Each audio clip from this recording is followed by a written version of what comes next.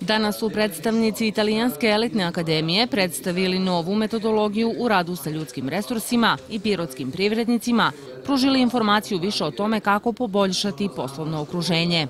Danas smo ovde u saradnji sa Privrednom komorom Pirota da predstavimo najnovije metodologije u radu sa ljudskim resursima, da unesemo, pokušamo da unesemo malo pozitivnosti, da pokušamo da poslodavcima, vlasnicima kompanija, direktorima donesemo neke nove metodologije kako u radu sa ljudima izvući maksimum iz svog tima, kako uvesti neke novine i donosimo neke najnovije tehnologije u, da kažemo, čitanju, razumevanju ljudi, a to su neki engleski psihološki testovi na teritoriji bivše Jugoslavije i Srbije ovde ispostavilo se da mi kao poslodavci uspevamo da izvučemo neki 30 do 40% od svojih zaposlenih.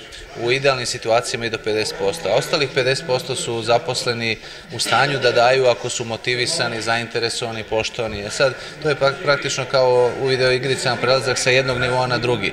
Do određenog stepena razvoja možemo da funkcionišemo kritikom, a posle toga je neophodno uvesti neke nove metodologije komunikacije, pozitivnu, pozitivnu afirmaciju pohvalom, voditi ljude pohvalom kako bi ljudi davali maksimum, maksimum od sebe. Visina zarade je jedan je od glavnih faktora koji utiču na rad i produktivnost, kaže Pavićević. Ovakvi seminari organizovani su širom Srbije, a odziv poslodavaca i zaposlenih iz javnog i privatnog sektora je dobar.